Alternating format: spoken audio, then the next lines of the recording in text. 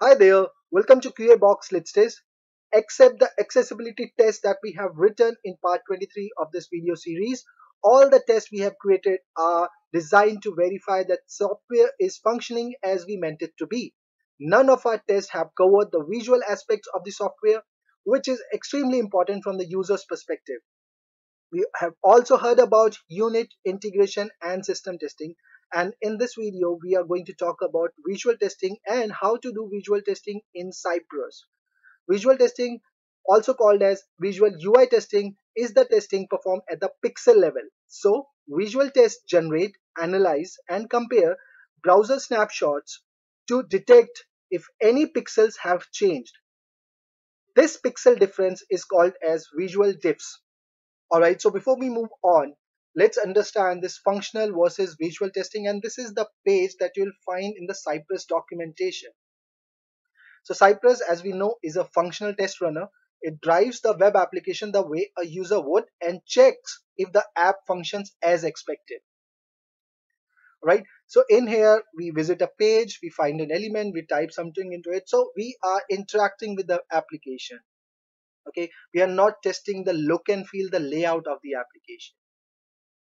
So the first step is how can I customize my functional test cases so that I can also cover some of the layout testing. So the first step is I can also write this kind of assertion. I should have class because as we know that CSS is used to style the HTML elements. All right. So we can definitely use this.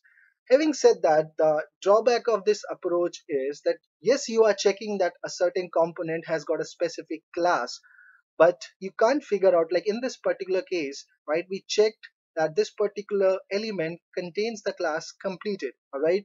But in here, if you could see, so Cypress uh, will see that the particular class is there, but it can't figure out whether the particular class has uh, grayed out the labeled element and adds a strike through line something like this all right? So then you can say okay what i can also do is we, there is another assertion in cypress which is have.css and in there i can check the color is this and text decoration is line through right? So it is grayed out all right is the color and then the strike through is basically coming from this text decoration now what uh, Cypress is recommended. So you can technically write a functional test asserting the CSS property using the have CSS assertion, but this may quickly become cumbersome to write and maintain, especially when visual styles rely on a lot of CSS styles. Having said that, that is not the only problem. So visual style of our application may also rely on more than just CSS. For example, you want to ensure an SVG or image has been rendered correctly or shapes were correctly drawn to a canvas. A canvas okay let's look at the canvas element. So this is a canvas element. Now the thing is you know on canvas we we draw all those images. We draw graph you know we draw all these different circles. If you inspect this particular element if you go to the console all you see is just this canvas. So you can't see these circles right? So if the functional test is you click on the button right? And now you see if I click on the red button all these circles will get this red text okay? How are you going to verify it? Okay there is no way we can verify it uh, with the functional approach okay? In this particular case even there is no css that is being applied to that. Same way we have the green blue and reset. So how are we going to verify this particular thing? All right? So i hope uh, we understand the need of doing the visual testing. So in this video, we are going to look at uh, two plugins. We can extend the uh, Cypress behavior by using plugins, as you know. So the first one is the open source tool. It's it's free as well. So that is Cypress plugin snapshots. And then we are going to look at one of the paid version, which is a Percy. Okay. So let us open that. And when you open that, you will get this GitHub page. All right. Let's start with the installation. Okay. So you have to install uh, this plugin by this command. So you just run that in your terminal. That is step number one. Okay, I've already done that. Next one is so you have to add that in the cypress.json okay this particular line so what i have done is i have created a custom cypress json file which is this okay so in here so I've set the integration folder. So let us look at that as well. So in the integration folder, I've created this visual testing and inside that I have this Percy and snapshot and under that we have visual spec. So for this particular case, we are setting it to snapshot. Okay. Then base URL is the base URL. Right. And uh, just to speed up the demo, I have turned uh, both the video and screenshot off. And then this is the line that I've copied from there and put it here. Okay. That is the step. Let's go back. Then we have to open the plugin index.js and we have to paste this code and these two lines of code right? So let us open that as well. So we go to plugin index.js okay? This is what you have to enter in here and you also have to write this okay and then you just have to return config. We copy this and paste this as well. Okay so we are done. Next step is we have to import this okay in cypress support index.js so let's copy this okay go to support index.js so this is my support index.js so we come in here and we paste this line okay? Great. Then there are a few more configurations that we have to uh, you know paste into our cypress.json file. So you have to copy all that okay? And make sure that you remove all these things. This is just for the explanation purpose. In json object we can't have uh, comments added okay? So just remove all these and paste it in there. Now there is one important thing that you have to take care of. So the server port is 2121 so if uh, this port is already occupied in your system make sure that you uh, change this particular port okay? And in here because that port is occupied for me so I've changed it to 3000 okay? The next thing is we have to open our test case. So the command that we have to use is to match image snapshot like this okay? Now you can take the snapshot of the, of the whole document or you can take the snapshot of a specific element. So like I said now we are going to fetch that canvas element and with the help of this we can take a screenshot of it. Okay like that. The simple. Okay so this is the only thing. Now you can pass in the name of the snapshot if you want to. If you don't provide the name of it it is going to take the test case name as the name of the snapshot file. Right? Done so all right. So now let us run this. Okay. And what I've done is in here you have this cy.snapshot okay. So you just go to terminal and say npm run cy snapshot. So it's already running in my case. So I click on this file now.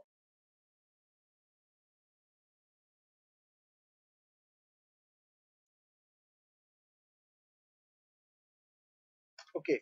So first time everything has been passed because there is no benchmark yet okay? So but if we go back to this snapshot folder now you see this image snapshot is here okay? And in here if you click on this first one all right so this is the snapshot of the canvas okay? When we clicked on that uh, button which changed the color of this circle to blue okay? So we basically clicked on the blue button now this is the snapshot of the whole document. Okay like that. Then you have for green and so on. Okay now if I make a change so let me make a change to the buttons the layout of the button right? And for that I'm going to change it to 25 I'm going to change the padding to 25 and all these buttons they have this class btn class. Okay so let me save this okay? And let us look at our application first. So now this is how our application is looking all right? So we have changed the layout. Let us see if this plugin is able to identify this change or not. So we have to rerun our test case. Let's do that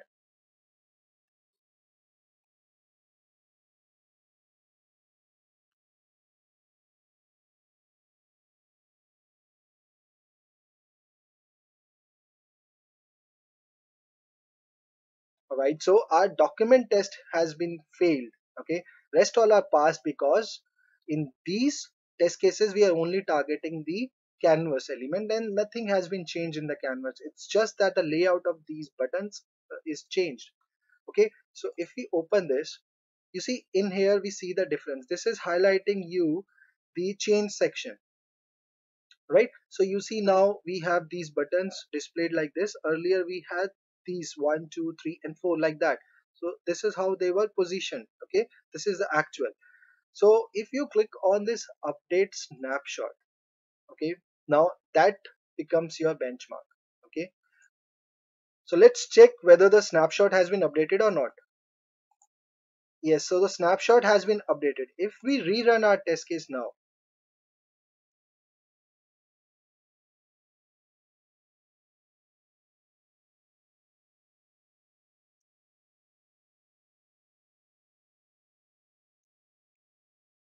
So our test case has been passed because it is matching with the updated snapshot.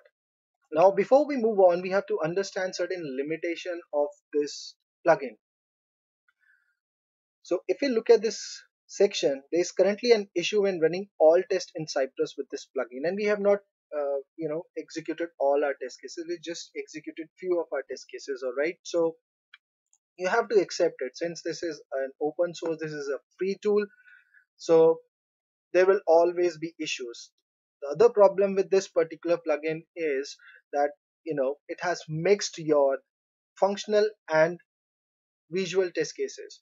So might be your functional test cases has been passed but if your visual tests are failed right it is still going to mark that test case as fail and you just want to separate these two contexts if the functional test is fail you want to say that hey there's a functional bug but if you if your visual test is fail you want to raise it differently like you know the layout has been changed okay so in my personal view the better approach is to go for the other plugin which is Percy. You have to create an account in Percy first then you have to log in and create a new project. Let us give it a name uh, Cypress demo app. Alright so now Percy supports all these different things. We have to work with Cypress. So let us open the Cypress documentation in a separate tab and I go to project setting and I would like to make a change first. So auto approve branch. So if you are working on master and you make any change it will auto approve that right? I don't want that to happen. So I just want to uh, delete it from here and I say save. Okay let's go to the documentation now. So first thing that you have to do is you have to install this. Then we have to import this line in Cypress support command.js. At the top, just import this line. Okay. So the next step is in the Cypress plugin index.js, you have to write this code index.js and this is the line that you have to enter and you also have to add in this line. Okay. That's step number three, I guess. Then step number four, this is the command that you have to use every project uh, has got a unique Percy token. So if you're working on Window, you have to use this command. If you're working on Unix, you have to use this command. Okay. And then the final, the command to execute a project is Percy exec hyphen hyphen cypress run. Okay. So here's my token for this particular project. Let me grab this.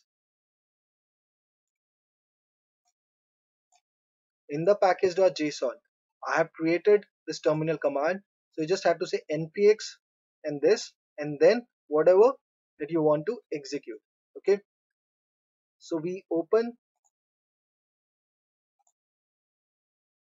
a new terminal and we say set percy token equal to this.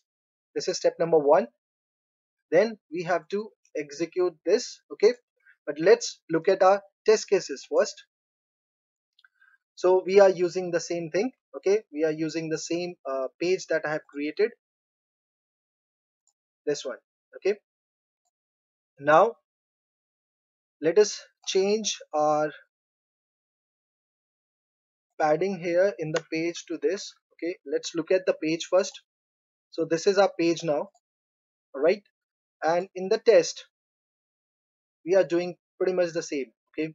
So it is going to capture a screenshot of all of these right? Let's just focus on this first test case. We let's take the screenshot of the whole document all right let's execute only this so let us execute our command npm run and then we have cy.percy so this has started right and it has created the build number one.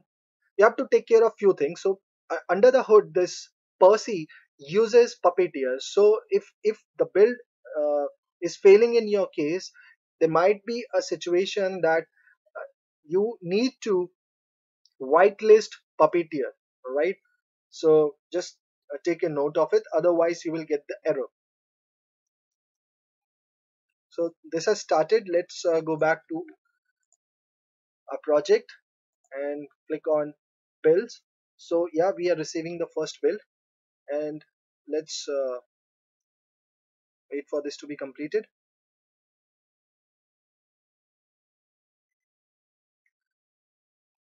okay so you could see uh, the test case has been passed and the build is also ready. So you could see it's saying processing snapshots.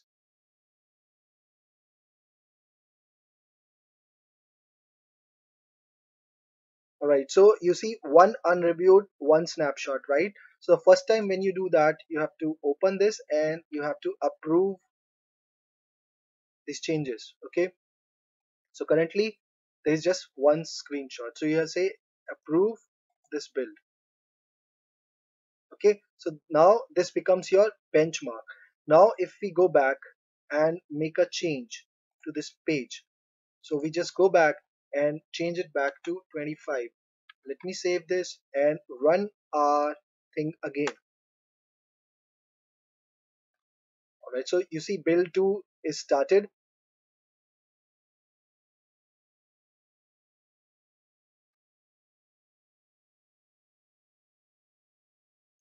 and if we go back to our project here also we see the second bill has started.